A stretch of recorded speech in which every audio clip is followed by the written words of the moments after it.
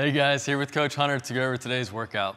Your warm up is going to be a seven minute AMRAP of three alternating dumbbell hang clean and jerks, seven glute bridge, seven alternating V ups each side, seven plank shoulder taps each side, and then we're just going to do some general stretching for the running that's coming your way. Dumbbell hang clean and jerk, we're going to take that dumbbell, stand all the way up with it to the knee, we're going to clean it to shoulder and then take it overhead for that jerk. All right, so you're gonna alternate three each side, make that transition at the shoulder.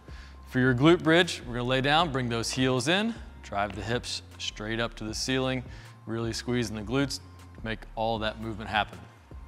And then stay down there for seven alternating V-ups, so we're getting a nice elongated position, hinging at the hips, bringing one leg up at a time, touching it with one or two hands, however you prefer. Then we're gonna roll over into plank position, and we're gonna do seven plank shoulder taps. So uh, alternating, keeping that back nice and flat. You can do this from the knee also if you need to to maintain that good plank position. And then uh, we're gonna do some running. So if you wanna stretch out the calves, um, do some high knees, butt kickers, things like that, just to get uh, the glutes, hamstrings, calves all uh, set up for that run. So for your workout today, it's gonna start with a 1200 meter run. If you don't know what that is, we're gonna run out for three minutes and back for three minutes. Then we're gonna go into 36 alternating dumbbell snatch, 36 push-ups, and then we're back out for an 800 meter run. So that's gonna be two minutes out, two minutes back. And then we're gonna go to 24 dumbbell snatch, alternating dumbbell snatch, 24 push-ups. Then lastly would be a 400 meter run, so one minute out, one minute back, 12 alternating dumbbell snatch, 12 push-ups to finish the workout. Alternating dumbbell snatch, gonna be from the ground, one big movement going overhead. So keeping that dumbbell or weight nice and tight to the body, drive through your heels, pop the hips, and then take it overhead. Alternating anywhere below the chin. So if you wanna make that transition at the ground or at the shoulder, whatever works for you. And then we're gonna go to the ground for those push-ups. So here we wanna see, again, nice plank position. Chest is gonna go all the way to the ground. Don't short yourself. Make sure that chest makes contact at the ground.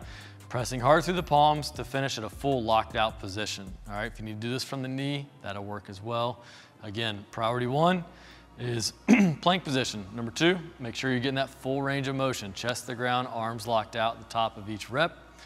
And then running, obviously, is running. If you don't have the ability to run, then it's six minutes of cardio in the first piece, four minutes in the second piece, and two minutes in the third piece. Accessory work today is gonna be some stretching. So we're gonna start with a one minute calf stretch. So on a wall or on an object, we're gonna pop the toe up and then get a nice stretch of the calf.